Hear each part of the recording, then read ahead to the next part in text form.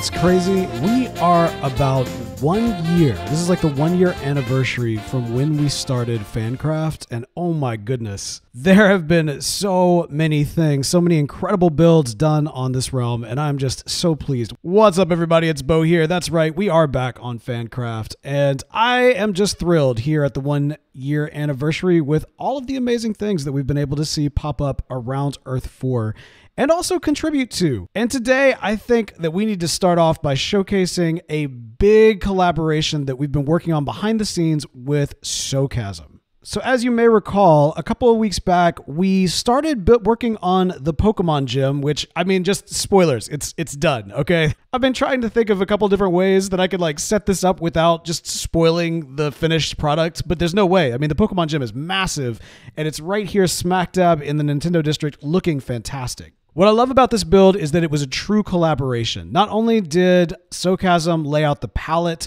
and really build up the structure, the gym itself, if you will, on the exterior, but because of a very common oversight in the build, there was a little bit of some brain breakage that happened with this one because as you can see it's a one block center build but when she originally built the structure above she built a two block center structure and this was absolutely like destroying our brain. It was like doing crazy things to us. And so we decided to tag team it a little bit. I came up behind her made some adjustments to the overall layout kind of pushed in the side a little bit as well as add all these little pokeball and pokemon little uh, iconography all around the build and i think it really turned out great. And then, of course, I also did the interior. And I got to tell you, not only did I do, you know, the cool little, little stands that you see behind me, you know, like you would find in your common Pokemon gym, but oh man, no Pokemon gym is complete without a full on Pokemon battle. That's right. We've actually got some Pokemon going right here in the middle of the gym, and I'm super stoked for this.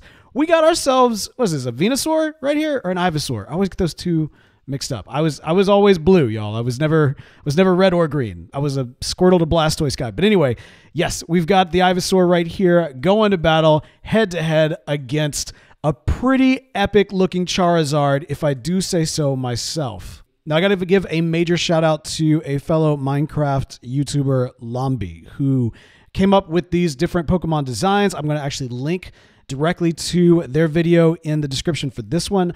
Now, I did make a couple of adjustments to their baseline designs. For example, I adjusted the tail of the Charizard so I could actually light it on fire. And I also kind of extended out the flower of our Venusaur right here. And I think they look really, really great. But honestly, I could not have done this without the amazing inspiration uh, from Lomby. So definitely check out their video. Again, link is going to be in the description. But as I say, Squirtle was my first. He was my main. And so, therefore, I needed to kind of, you know, add the missing one. I mean, Lomby did a great job with both the Venusaur and the Charizard, but there was no Blastoise until now. That's right, we got ourselves a Blastoise. I had some fun working on this design. I was very inspired by the incredible work Lomby had done, but I, I really felt like we needed a Blastoise in the mix.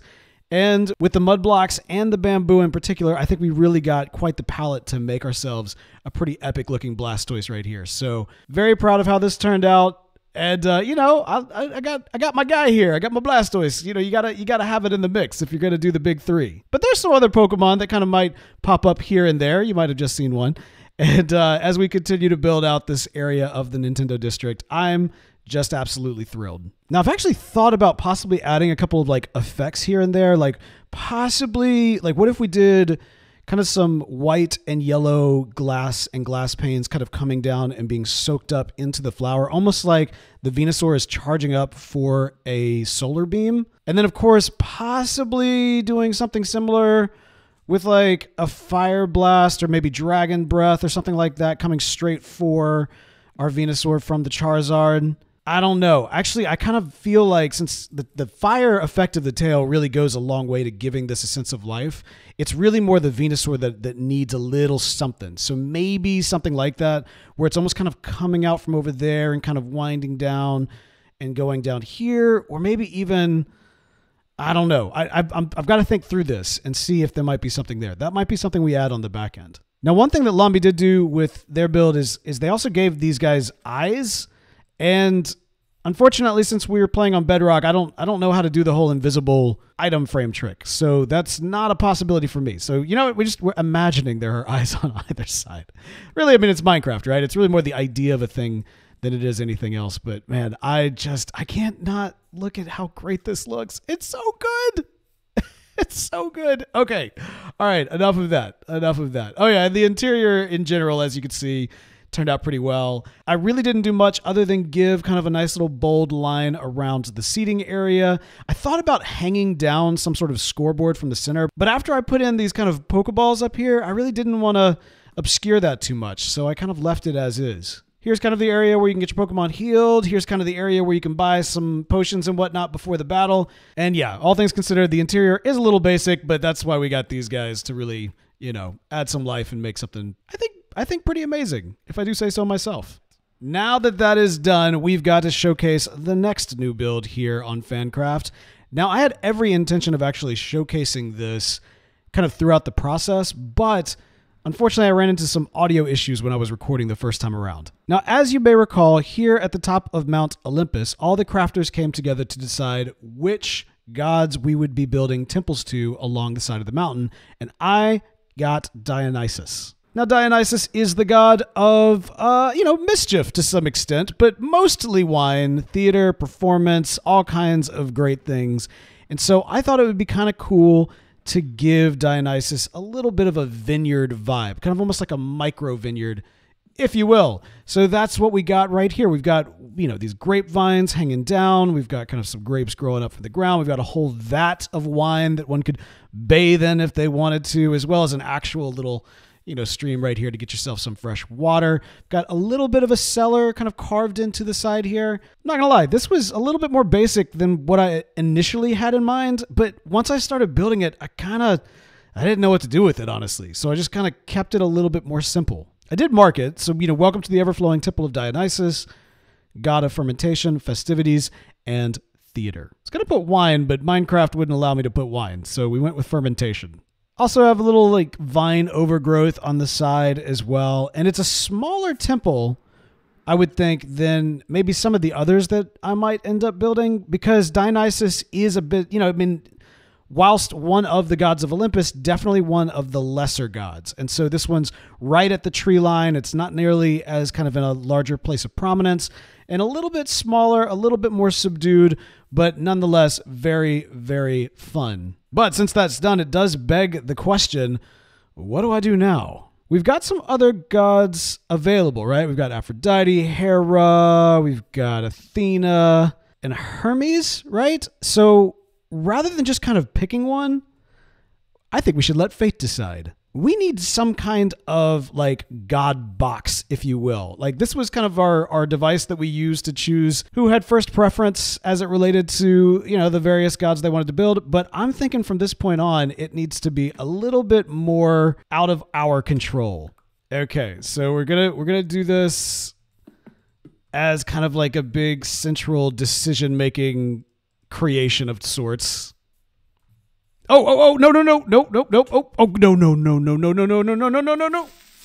Woo!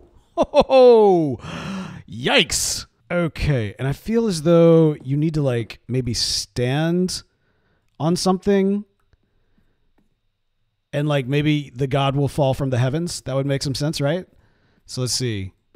Kind of making this up as I go along. I mean, I just I'm figuring we just go with a lot of quartz and uh I'm also kind of wondering, should we have like fire on top? Like this is almost like a torch. That would be kind of cool. Okay, I think that that's pretty good. That that looks like kind of an altar to the to the gods of sorts.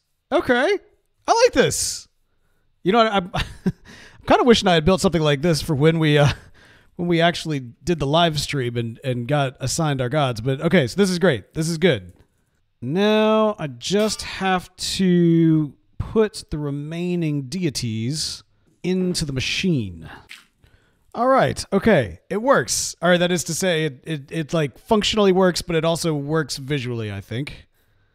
Yeah. I mean, this will probably end up getting covered up eventually, one way or the other, but oh man. You know what? Could have used it then, got it now, happy to have it. I think that's a good that's a good way to look at it. So let's find out who we shall be uh, deemed worthy of creating veneration to next, shall we? All right, here we go. And Athena. Oh, Okay, goddess of wisdom, right? Because Artemis is the hunt. So Athena is wisdom, but not only that, thanks to the Acropolis, we actually have a real life temple of Athena we could use as a bit of a basis. And while she is technically a daughter of Zeus, I've always kind of technically seen her as one of the most influential of all the Olympians, not just because of wisdom, but because of kind of her origin story, the threat she represents to Zeus, and all that kind of good stuff. I mean, if you like Greek mythology, you know, Athena's a good get. So we need to figure out where we're going to put that temple.